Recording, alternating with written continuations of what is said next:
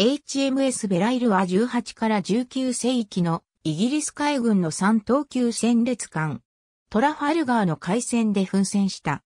本艦はフランスのテメレール級戦列艦リヨンとして1793年にロシュフォールで建造された。後、フランス革命の進展に伴ってマラー、そしてフォルミダブルと改名された。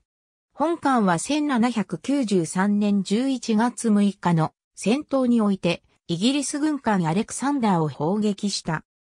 フォルミダブルはフランスのローリアン港の近くで1795年6月23日に行われたグロア島の海戦でイギリス軍艦バーフラーによって捕獲された。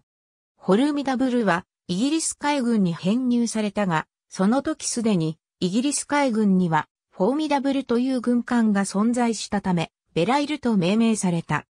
これは、本艦が捕獲された場所がグロア島沖であったにも、かかわらず、ベルイル島沖と誤解されたことによるものである。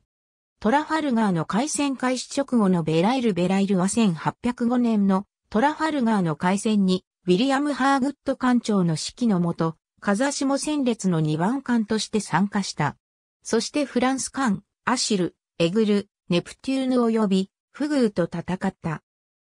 ほどなくすべてのマストを失い、行動不能となったばかりか、落ちた穂や作具によって訪問が覆われたため戦うこともできなくなってしまったが、その後、戦列の後方の領艦が救出に来るまで45分間に渡って旗を翻し続けた。戦死者は33名、負傷者は93名だった。そしてその後、フリゲートナ宿によってジブラルタルまで栄光された。ベライルは1811年からポーツマス港に置かれ、1814年に解体が決まった。ありがとうございます。